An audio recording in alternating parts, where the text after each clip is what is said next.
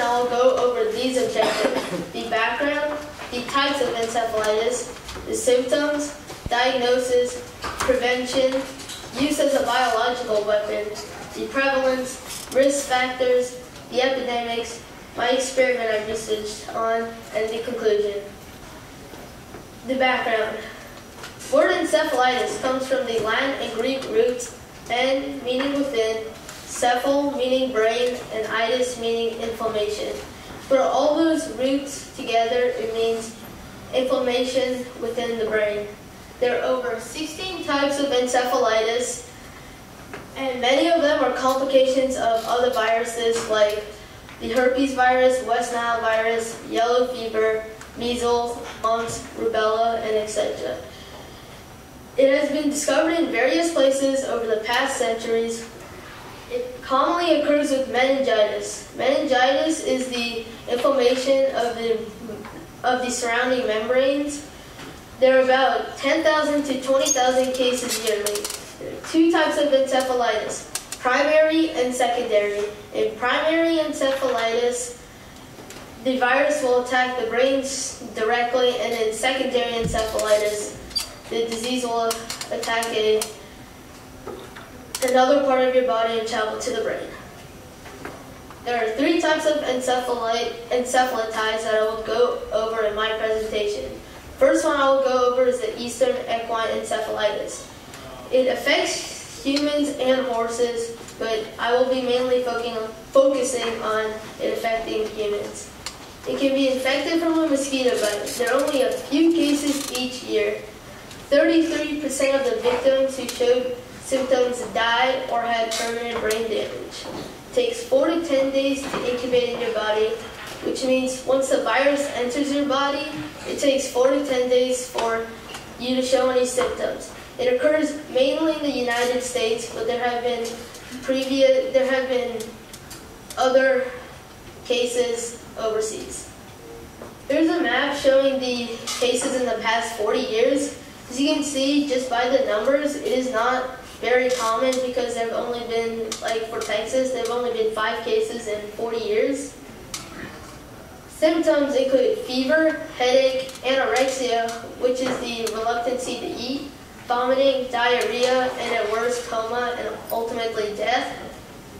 A diagnosis, a doctor will perform a cerebrospinal fluid test, which is where a doctor will take fluids from your brainstem use PCR, which is polymerase chain reaction, which amplifies DNA, and they test to see the virus is present.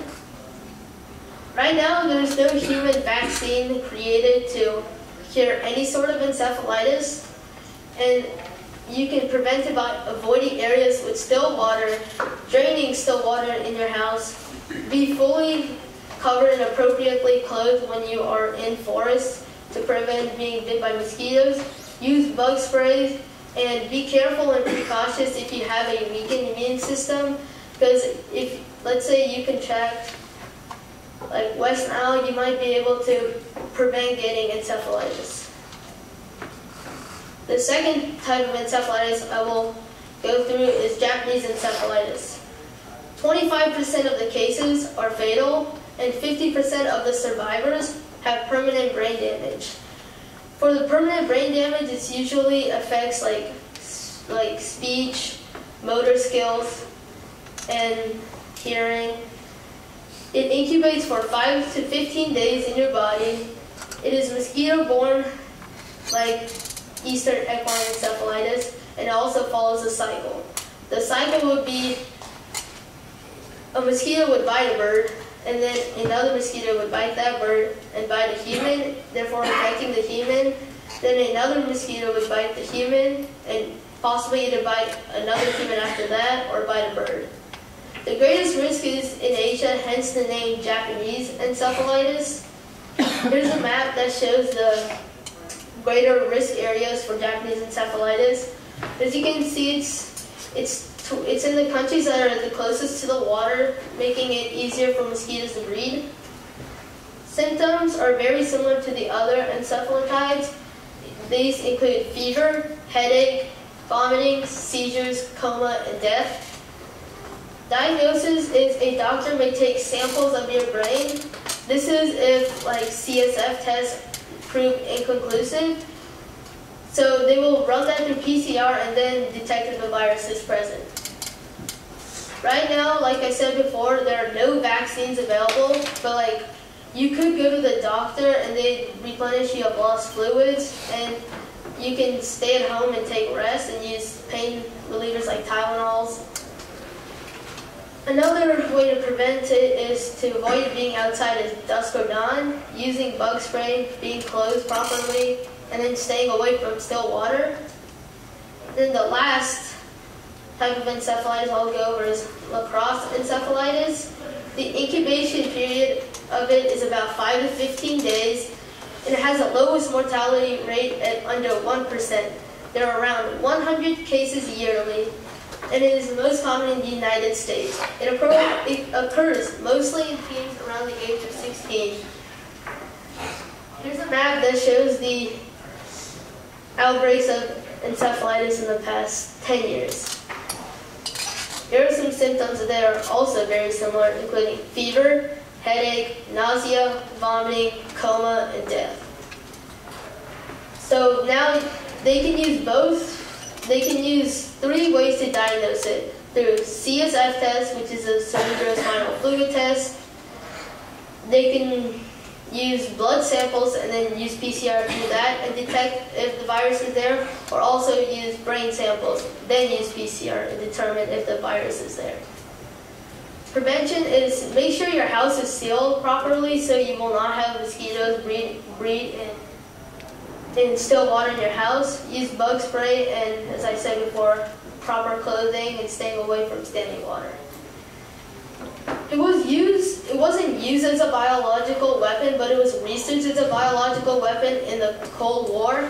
The Soviets researched the three equine-based encephalitides, which are Western equine encephalitis, Eastern equine encephalitis, and Venezuelan equine encephalitis. They aerosolized the virus and then used it to infect the opposition. They found out it worked because a Soviet doctor dropped a vial about this big in a laboratory and infected 20 people and killed five of them, but it was never actually used during the war. I'll go over the prevalence. It prevails in humid regions and developing countries due to poor hygiene and areas with a lot of still water, and it obviously is the most prevalent in areas with the greatest mosquito populations. So the epidemics and pandemics. There have been three epidemics slash pandemics in the past century. There, there have been one in Australia, China, and there was a worldwide pandemic through 1917 to 1930. The worldwide pandemic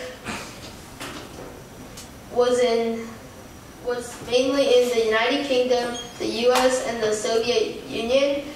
It was caused by Eastern equine encephalitis, but at that time they had two theories because they had not discovered it at that time. They thought it was either the herpes virus or it was caused by influenza or staphylococcus, which that was false, and they, I believe 10 years later, found out that it was the Eastern equine encephalitis. And then in New South Wales, Australia, between 1990 and 2007, the herpes simplex virus caused 5,926 diagnoses in 17 years. It was the most common diagnosis at that time. And then in Wuhan, China, during 2005 to 2008, there were 5,097 cases, but previously in 1970, there were 174,932 cases. And then now it lowered as a good thing due to the extensive like treatment. But this is like because there aren't there is no vaccine. This is just like remedies that they have. Risk factors are having a weakened immune system because there's nothing because encephalitis affects every race and age and gender. So just having a weakened immune system is probably the only like body related thing that can uh, make you more prone to getting encephalitis. living in poor hygienic areas, and living near woody areas. My experiment was conducted by Daniel Ruse, Gerhard Dobler, and Hans Helmut Niller. The question was, may early intervention with high-dose intravenous immunoglobulin, which is IVIG, pose a potentially successful treatment for severe cases of tick-borne encephalitis? So the summary was, the three doctors used patients with tick-borne encephalitis virus, that's TBEV, Japanese encephalitis virus, JEV, dengue fever virus, DENV, West Nile virus, WNV, Eastern equine encephalitis virus, EEV, and chikungunya virus, CHIKV, and treated them with two doses of intravenous immunoglobulins, that's the IVIG. So they used a 54-year-old man with TBEV, a 49-year-old Italian traveler with JEV, 15 patients in the Philippines after an outbreak with the dengue virus, 8 cases of West Nile virus, a 69-year-old man with EEEV, and a 27-year-old and an 85-year-old with CHIKV. 50% of the human system's symptoms decreased or disappeared. They were the, they were the patients with the Japanese encephalitis, dengue virus, and West Nile virus. But in the case of the patients with West Nile, out of the eight cases, two patients died and two had to be taken off the treatment due to other serious complications. But for all the other patients, the symptoms had worsened, therefore making it a not so reliable potential vaccine.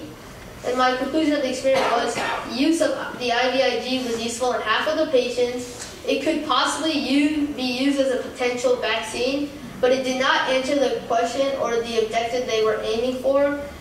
Like, could it help people with TB, TBEV? And then my conclusion is encephalitis has no cure. Is a common disease in the United States. It is a arthropod-borne virus, meaning you can get it from like a tick or a mosquito. It is a potential biological weapon, and IVIG could potentially be a vaccine. And encephalitis is caused by many diseases. My citations, and now I'll open the floor to questions, comments, and constructive criticism. Raise your hand if you have a question for Rohan. Austin. You said that it could be used as biological weapon. Has any group or organization ever used it? No, but they were. It can still be used now, but they the Soviets did research it, but they never used it.